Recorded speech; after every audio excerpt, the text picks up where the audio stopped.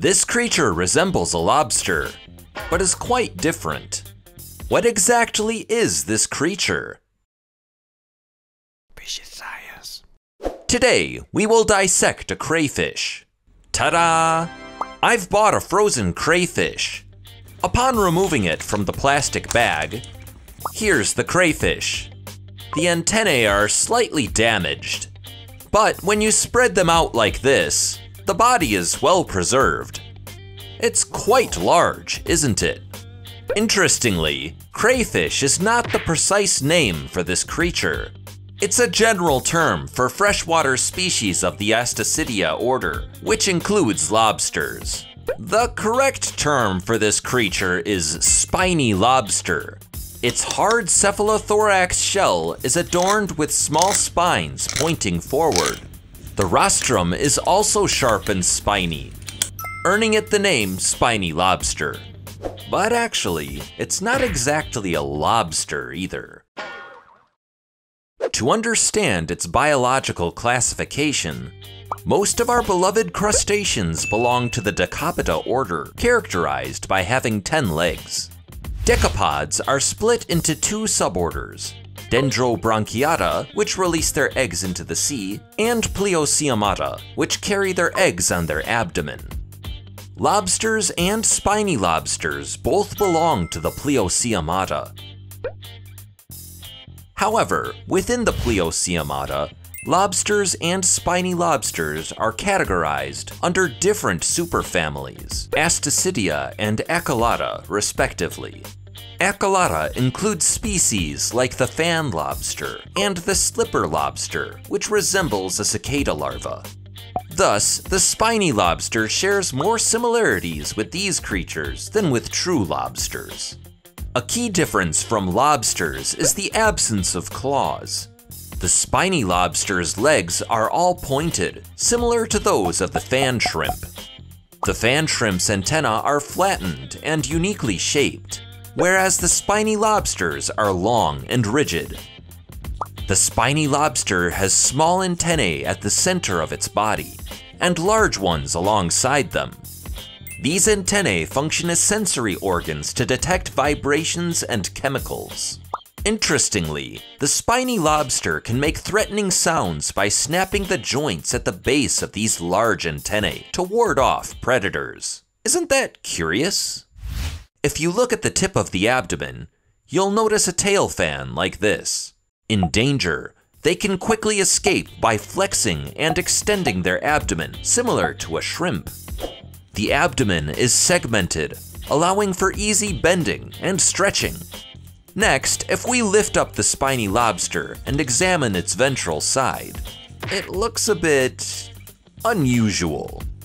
Firstly, there are 10 walking legs on the thorax. Above, similar to a crab's mouth, the spiny lobster has mandibles that manage the food around its mouth, and within these mandibles are choppers that dice the food. They use these mandibles and maxillae to feed on sea urchins, bivalves, and mollusks. The digested food is then expelled through the anus, located here at the end of the abdomen. Pew, pew, pew! Next, the legs on the abdomen are known as swimming legs, and you can differentiate between males and females by observing these swimming legs. The swimming legs of males are simple in shape, while those of females are slightly larger and the tips of their legs are parted. Females have more developed swimming legs than males to hold and protect their eggs after spawning. Interesting, isn't it? Now, let's start dissecting the spiny lobster in earnest. The body of the spiny lobster is mainly divided into the cephalothorax and abdomen. The cephalothorax is protected by a hard shell, inside which are vital organs like the heart, gills, and gonads. When the shell is carefully cut open, it looks like this. This is the heart of the spiny lobster.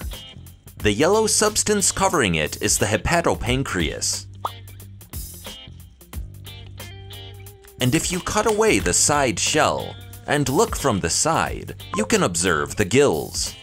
As the gills move, they facilitate efficient gas exchange. If you look closely here, you'll see the white part. It has been a while. This part is the ovary, the female's reproductive gland. Although it's white now, it will turn orange and swell as the eggs mature. And if you look around here, you'll see the stomach, the digestive organ of the spiny lobster. If you insert a pair of tweezers into the mouth, you can see it's connected to the stomach through the esophagus. After removing the stomach, we separate the cephalothorax and abdomen, revealing the digestive tract, connecting to the abdomen as shown here. Next, we cut open the abdominal shell. As you can see, it is filled with meat.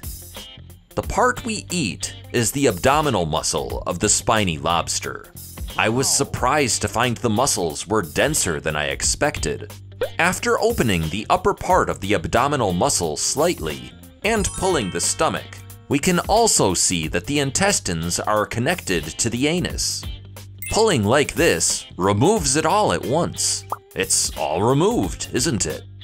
I removed the tail fan and shell, leaving only the inside muscle, and baked it in the oven, with butter and garlic on top.